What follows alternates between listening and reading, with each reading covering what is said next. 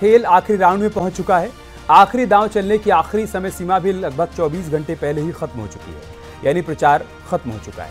प्रचार खत्म होते ही सियासी इतवार भी शुरू हो गया है। यानी कि नेताजी लोगों की छुट्टी शुरू हो गई है। अब सवाल ये उठता है कि प्रचार के बाद कौन क्या कर रहा है? चलिए इसकी भी एक झलक आपको दिखा देते हैं। आखिरी दौर का चुनाव प्रचार खत्म होने के बाद सत्ता पक्ष और विपक्ष दोनों ओर से नेता भगवान के द्वार पहुँच रहे हैं। पीएम मोदी कन्याकुमारी में ध्यान लगा रहे हैं तो अमित शाह भी अब से थोड़ी देर पहले तिरुपति बालाजी मंदिर में दर्शन करने के लिए पहुँचे। प्रियंका गांधी ने हिमाचल प्रदेश के जाखू मंदिर में दर्शन किए। एमपी के सीएम मोहन यादव ने कल स्वर्ण मंदिर में दर्शन किए थे। चिराग पासवान आज अयोध्या में हनुमानगढ़ी मंदिर पहुँचे और केंद्रीय मंत्री पीयूष गोयल ने मेहंदीपुर बालाजी मंदिर में दर्शन किए। प्रचार खत्म होने के बाद सभी नेता क्या कर रहे हैं, उसकी पाँच तस्वीरें इस वक्त हम आपके साथ साझा कर रहे हैं। मध्य तस्वीर में जो आप देख पा रहे हैं प्रधानमंत्री मोदी इस वक्त मौन मुद्रा में मौन साधना कर रहे हैं, ध्यान लगा रहे हैं, माला जप रहे हैं, तप कर रहे हैं कन्याकुमारी में। पहली तस्वीर जो आप देख रहे हैं, वो गृह मंत्री अमित शाह की है, जिन्होंने तिरुपति बालाजी मंदिर में जाकर दर्शन पूजन किया। इस दौरान उनकी पत्नी भी उनके साथ मौजूद थी। प्रियंका गांधी भी हिमाचल प्रदेश पहुँची, जहाँ पर जाखू मंदिर में उन्होंने दर्शन पूजन किए और दर्शन पूजन के बाद वापस वो दिल्ली लौट आई। मोहन यादव, जो कि मध्य प्रदेश के मुख्यमंत्री हैं उन्होंने कल पंजाब पहुंचकर स्वर्ण मंदिर में मत्था टेका। चिराग पासवान हनुमानगढ़ी पहुँचे अयोध्या में, जहाँ पर हनुमान जी के उन्होंने दर्शन पूजन किए। तो चुनाव प्रचार का शोर जब थमा छिहत्तर दिनों के बाद तो सातवें चरण की वोटिंग से पहले नेताओं के मंदिर पहुँचने का सिलसिला जारी है और इसी क्रम की पाँच तस्वीरें हम आपके साथ साझा कर रहे हैं। तो सभी नेता अपने अपने काम में लगे हुए हैं। कोई आराम फरमा रहा है, कोई भक्ति पथ पर आगे बढ़ रहा है। जबकि दिल्ली के सीएम अरविंद केजरीवाल वापस जेल लौटने की तैयारी कर रहे हैं, क्योंकि एक जून तक ही उन्हें कोर्ट से जमानत मिली। थी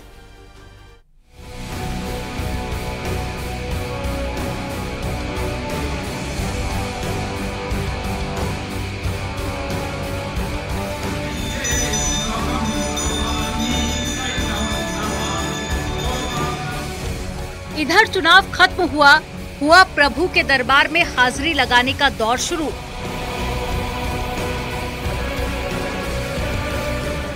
चुनाव के बाद ना किसी की भक्ति पर कोई सवाल।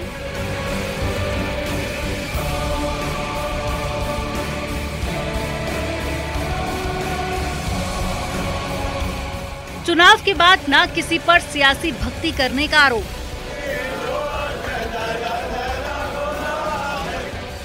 बस प्रभु की शरण और 4 जून को मंगलमय बनाने की कामना। राम मंदिर से 2024 की चुनावी समर की शुरुआत हुई और समापन भी मंदिर में माथा टेक कर हुआ। चुनावी समर खत्म होने के बाद ज़्यादातर नेता या तो मंदिर में माथा टेक रहे हैं या फिर आराम कर रहे हैं। जहाँ प्रधानमंत्री नरेंद्र मोदी कन्याकुमारी में साधना में लीन हैं, वहीं केंद्रीय गृह मंत्री अमित शाह तिरुपत बालाजी में दर्शन कर रहे हैं। प्रियंका गांधी की अगर बात करें तो वो हिमाचल में जाखू मंदिर में भी माथा टेक रही हैं।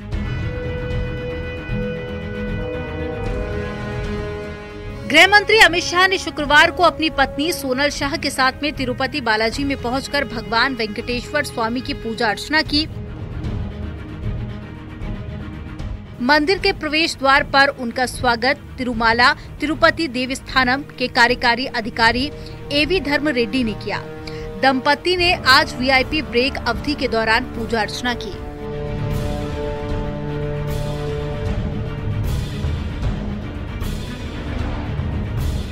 अमित शाह की तरह ही दूसरे नेता भी मंदिर में पूजा कर मंगलमय नतीजों की कामना करते हुए नज़र आए।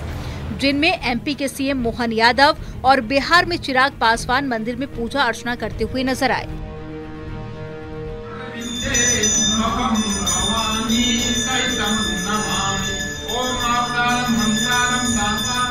तो हिमाचल में चुनावी तैयारियों को परखने के बाद में प्रियंका गांधी ने जाखू देवता का आशीर्वाद लिया। हालाँकि अब प्रियंका गांधी दिल्ली लौट चुकी हैं, जहाँ वो अपने बच्चों के साथ में टाइम स्पेंड करेंगी।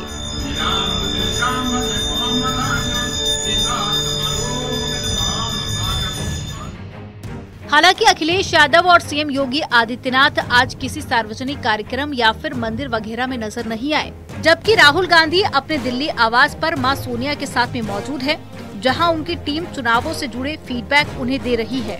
जबकि खरगे भी दिल्ली में कल होने वाली बैठक को लेकर तैयारी कर रहे हैं। हालाँकि सबसे दिलचस्प जानकारी अरविंद केजरीवाल से जुड़ी है। चुनाव खत्म होते ही केजरीवाल जेल लौटने की तैयारी कर रहे हैं। उन्हें दो जून को वापस जेल जाना होगा।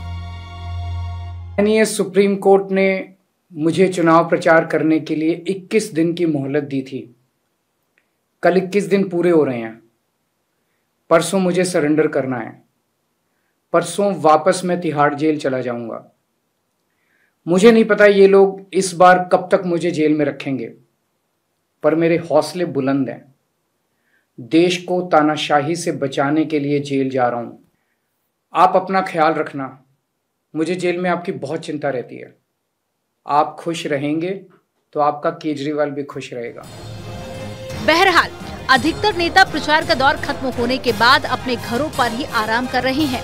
और इंतज़ार एक जून को आखिरी वोटिंग और फिर चार जून को आने वाले नतीजों का है। Bureau report, news eighteen.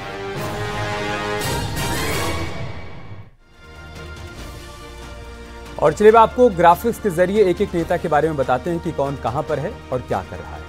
सबसे पहले बात प्रधानमंत्री नरेंद्र मोदी की करते हैं। वो छिहत्तर दिन के प्रचार के बाद मौन साधना कर रहे हैं। कन्याकुमारी के विवेकानंद रॉक पर, जहाँ वो एक जून तक साधना में लीन रहे।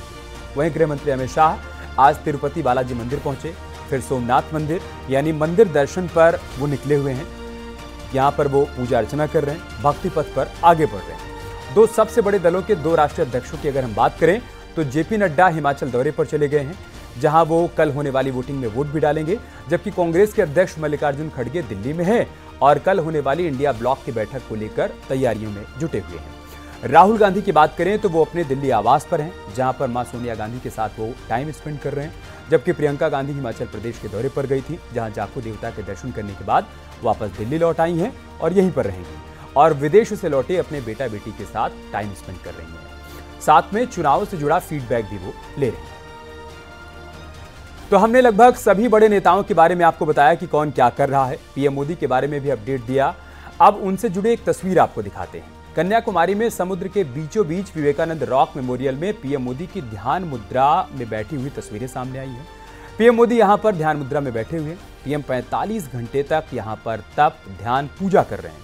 कुछ देर पहले कन्याकुमारी से पीएम के मेडिटेशन और पूजा करने की तस्वीर आई। पीएम कल शाम से विवेकानंद रॉक मेमोरियल में ध्यान कर रहे हैं। आज सुबह पीएम ने उगते हुए सूर्य को नमन किया और पूजा की।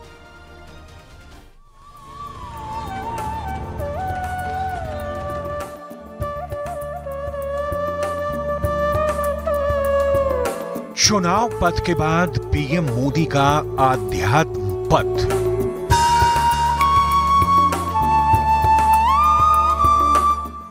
साधना से संयम का पथ प्राण प्रतिष्ठा से साधना, पीएम की सनातनी उपासना।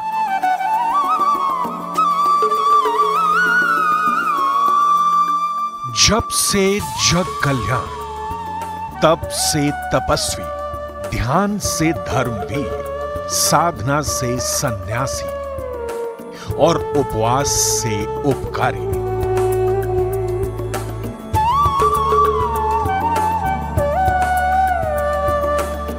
यही वो गुण है, यही वो कर्म है और यही वो कर्तव्य है जो नरेंद्र मोदी को दुनिया का सबसे लोकप्रिय राजनेता बनाते हैं।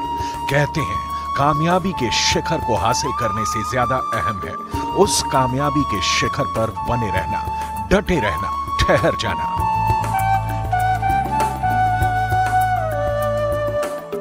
पिछले 25 बरस से पीएम मोदी भी कामयाबी के सर्वोच्च शिखर पर न सिर्फ़ आसीन हैं, बल्कि इस कदर ठहर चुके हैं कि उन्हें वहाँ से डिगा पाना किसी के बस की बात नहीं है।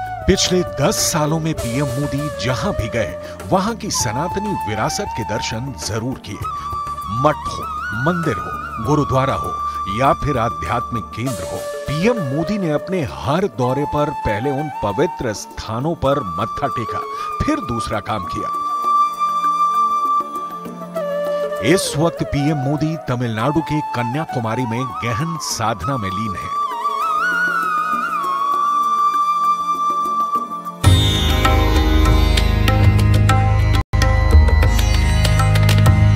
सिर्फ़ इसी महीने की बात करें तो पीएम मोदी ने 11 प्रमुख मंदिरों के दर्शन पूजन किए। 4 मई को प्रधानमंत्री मोदी ने यूपी के कानपुर में गुरुद्वारे में जाकर अरदास की। इसके अगले ही दिन 5 मई को प्रधानमंत्री मोदी ने अयोध्या के श्री राम जन्मभूमि तीर्थ क्षेत्र में पूजन, दर्शन किए। 8 मई को पीएम ने तेलंगाना के करीमनगर में श्री राजा राजेश्वर स्वामी मंदिर में दर्शन पूजन किए।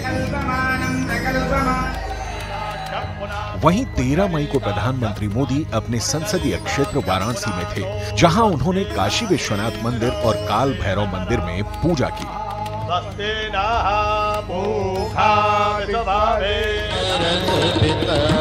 इसके बाद 13 मई को ही प्रधानमंत्री ने पटना साहिब के तख्त श्री हरमिंदर जी में मत्था टेका और अरदास की।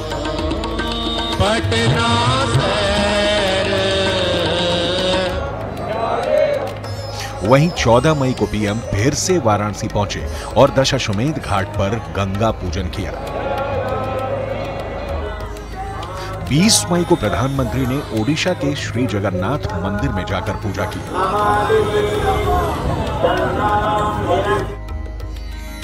वहीं 21 मई को पीएम फिर से वाराणसी पहुँचे और संकट मोचन मंदिर में हनुमान जी की पूजा की।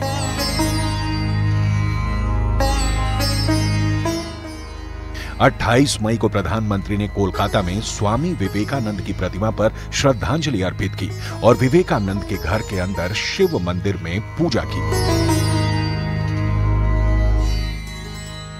30 मई की शाम को प्रधानमंत्री नरेंद्र मोदी तमिलनाडु के कन्याकुमारी पहुँचे और भगवती अम्मन मंदिर में शीश नवाया।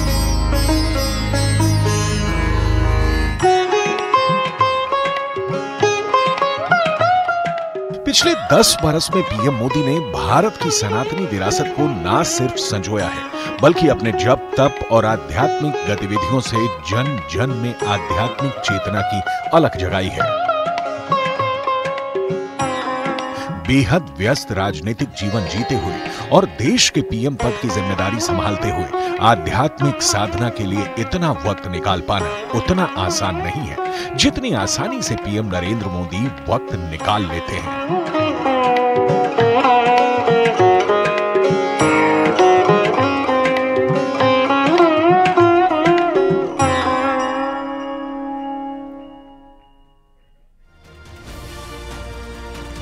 इधर विपक्ष पीएम मोदी की साधना पर सवाल खड़े कर रहा है, जबकि सच तो ये है कि जिस साधना में पीएम मोदी लीन है, उसे करना इतना भी आसान नहीं है। क्योंकि साधना के दौरान कड़े नियमों का पालन करना होता है। सुबह उगते हुए सूर्य की उपासना करते हैं पीएम मोदी और ध्यान के दौरान सिर्फ़ तरल आहार ही वो ले रहे हैं। साधना के दौरान मौन व्रत का पालन भी कर रहे हैं। दिल्ली से 2850 किलोमीटर दूर प्रधानमंत्री नरेंद्र मोदी ने ध्यान लगाया और हंगामा दिल्ली सहित बिहार, बंगाल और उत्तर प्रदेश में मच गया। छिहत्तर दिन के ज़बरदस्त चुनाव प्रचार के बाद भारत के दक्षिणी छोर कन्याकुमारी में प्रधानमंत्री मोदी ध्यान लगा रहे हैं, लेकिन सातवें चरण की वोटिंग से एक दिन पहले विपक्ष परेशान है। विपक्ष का आरोप है कि पीएम के इस ध्यान का मीडिया में प्रसारण हो रहा है, जो मॉडल कोड ऑफ़ कंडक्ट का उल्लंघन है। विपक्ष का सवाल अपनी जगह है, लेकिन लोकतंत्र तो नियमों से चलता है। और नियम क्या कहते हैं, आज ये भी जानना ज़रूरी है। Representation of the people act के सेक्शन 126 एक के मुताबिक चुनाव से 48 घंटे के भीतर कोई सार्वजनिक बैठक करना या जुलूस निकालना मना। है सिनेमा, टेलीविज़न या अन्य उपकरणों के माध्यम से जनता के समक्ष कोई चुनाव संबंधी सामग्री प्रदर्शित करना मना है। किसी मतदान क्षेत्र में वोटिंग से पहले 48 घंटे की अवधि के दौरान जनता को आकर्षित करने के इरादे से कोई संगीत समारोह या नाट्य प्रदर्शन करना मना है। अब बीजेपी इसी कानून को मुद्दा बनाकर यह कह रही है कि तमिलनाडु या कन्याकुमारी में तो चुनाव खत्म हो चुके हैं। पीएम मोदी न मीडिया से बात कर रहे हैं, ना ही चुनाव चिन्ह दिखा रहे हैं। फिर ये मॉडल कोड ऑफ़ कंडक्ट का उल्लंघन कैसे हो गया? अब आपको एक और दिलचस्प तथ्य बताते हैं, जिससे आप समझ सकते हैं कि चुनाव किसी की तपस्या का विरोध करके नहीं, बल्कि कड़ी मेहनत करके जीते जाते हैं। इस वक्त नरेंद्र मोदी की उम्र तिहत्तर वर्ष है।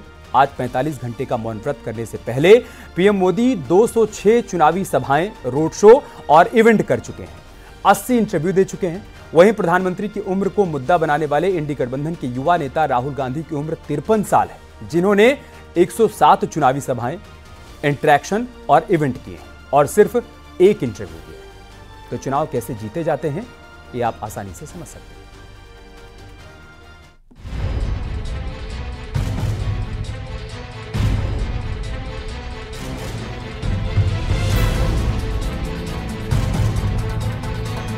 दो हज़ार चौबीस का चुनावी शोर थमते ही सियासी दल कॉपी कलम लेकर बैठ गए हैं।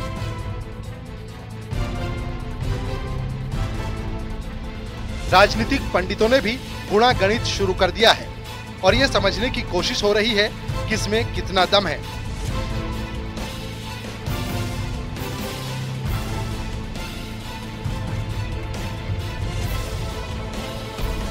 अभी एक जून को फाइनल वोटिंग बाकी है।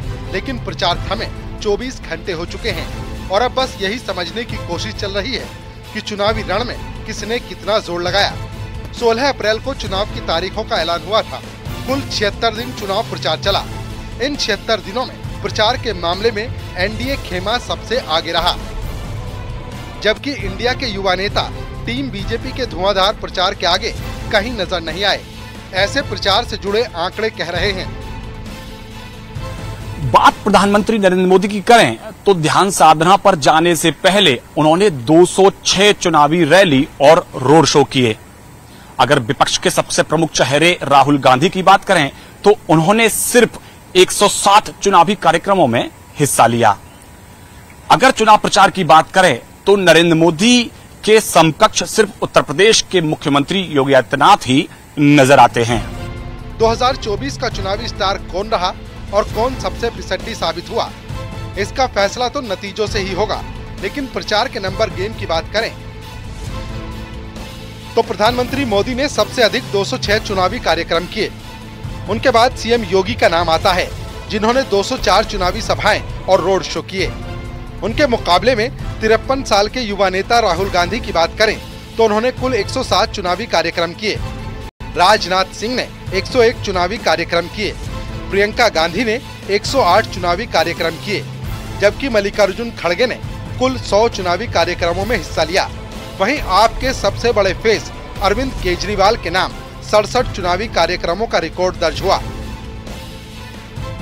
यानी विपक्ष एसी कमरों में बैठकर रणनीति ही बनाता रह गया। और मोदी योगी की जोड़ी ने देश के कोने कोने तक जनता से संवाद कर 2024 के चुनावी समीकरण को साध लिया। देखिए, मोदी बहुत ऊर्जावान है और जिस तरीके से वो चुनाव लड़ते हैं, वो हम भली बात ही देखते हैं कि किस तरीके से वो एक एक दिन का एक एक घंटे का एक एक मिनट का प्रयोग करते हैं और इतना ऊर्जावान तरीके से चुनाव लड़ते आज तक इतिहास में ना कभी किसी को देखा गया। और मुझे लगता है इस उम्र में जितनी ऊर्जा उनके अंदर है, वो देखते ही बनते हैं। दूसरा, विपक्ष की आदि रेडियो के विषय में बता दूँ, देखिए उनको देखने के लिए कितनी भीड़ जुड़ती जुटती है और कितने लोग उनके पास आते हैं किन किन क्षेत्रों में वो करते हैं वहाँ उनकी क्या उपस्थिति होती है तो ये तो सब अपने अपने एक आ, क्या बोलते हैं इमेज पे डिपेंड कर बहरहाल चुनावी समर में इस कदर पसीना बहाने का मौका पाँच साल बाद आता है और इन तीन महीनों तक चलने वाले चुनावी उत्सव में जो जितनी मेहनत करता है पाँच साल तक उसी के हिस्से सत्ता का सुख आता है। ये जानते हुए भी विपक्ष का प्रचार में पिछड़ना कई सवाल खड़े करता है। सवाल ये क्या संसाधनों की कमी के चलते प्रचार में इंडिया ब्लॉक पिछड़ गया? या दशकों तक सत्ता में रह चुके इन नेताओं की मेहनत करने की इच्छा शक्ति ही खत्म हो गई?